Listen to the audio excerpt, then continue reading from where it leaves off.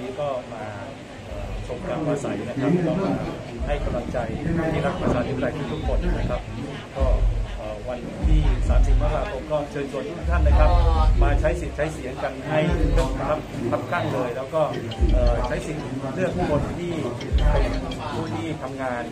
เป็นผู้ที่อยู่ในพรรคที่หลายประชาธิปไตยมีนโยบายที่จะแก้ปัญหาปากท้องของพี่น้องประชาชน ลดรายจ่ายของประชาชนเพิ่มรายได้เพิ่มเงินในกระเป๋า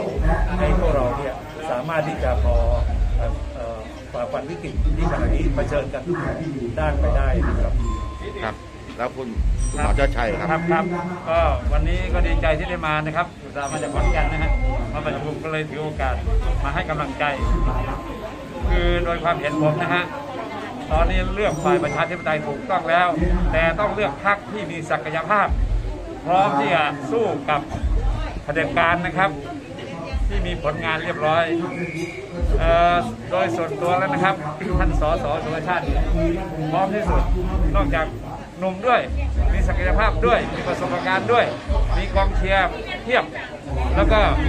ถึงไม่ได้เป็นสสตอนนี้ก็ลงพื้นที่ตลอดเวลา เห็นประชาชน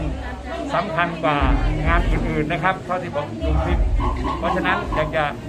เรียกร้องนะเชิญชวนพ่อแม่พี่น้องที่รักประชาธิปไตยนี่วันที่ 30นี่มาช่วยกันเชียร์พรรคเพื่อไทยพูดกันตรงๆนะฮะเพราะเอาไว้สั่งสอนคุณลุงตู่ผมเดินเข้ามานี่นะครับคุณยายที่ขายของอยู่ข้างหน้าบอกว่า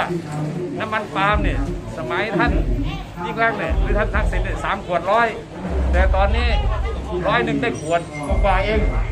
เห็นไหมครับเขาไม่ชอบเขาต้องการให้พรรคเพื่อไทยมาแก้ปัญหาเศรษฐกิจนะครับ